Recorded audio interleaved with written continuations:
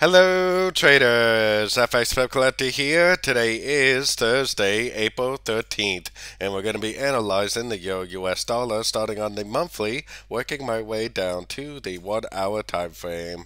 But first, take a look at my new Forex trading course available to all Gold Patreon members. The link for that can be found up here in the corner. So on the Euro Dollar Monthly, I still think this is actually going to turn into a trend. It looks like a 1, 2, 3, and it looks like it's just going to keep on going up, eventually taking out this high, and probably making a nice 1, 2, 3, 4, 5 up. So let's keep that in mind while we head down to the weekly time frame and beyond. On the weekly time frame is where you can actually start to see these higher highs, higher lows. I think this is a 1, I think this move down is a 2, and I believe that this move up is the beginning of a wave 3.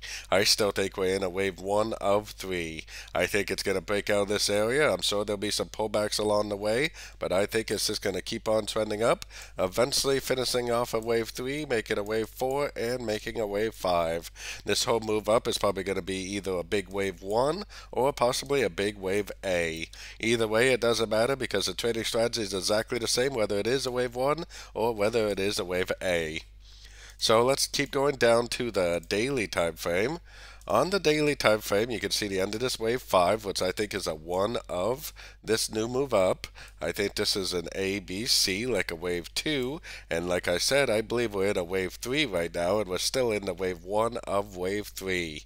As you can see, we are still making higher lows, higher lows, higher lows the whole way up. Definitely no reason to think this is over. I do believe it's going to break out of this area, and I'm sure it will have some resistance at a couple of these Fibonacci levels, but even if it does does go down, I think this is going to be a correction to the uptrend, and I believe it will continue to make them higher highs and higher lows. So let's take it down even further to the 4 hour time frame. 4 hour time frame, the last end of a correction was way back here, right around the long ho holiday weekend that we had.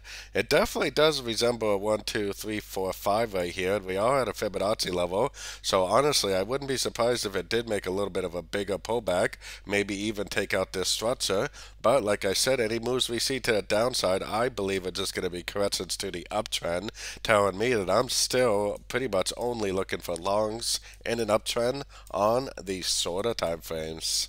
So let's take it down even further to the one hour time frame. So on the one hour time frame, even though it does look like a 1, 2, 3, 4, 5, and it does look like it could go down to make a bigger correction at a Fibonacci level, I definitely wouldn't be going short right now because we don't really know just because it is safe that it's over. It very easily could just make another small correction and just keep on trending up.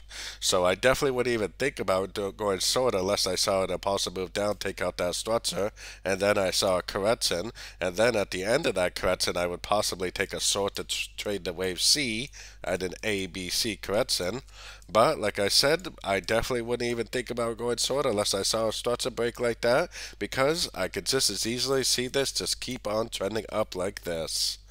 So don't forget to join my free Discord channel. The link for that is on the screen and in the description. Thanks and happy trading.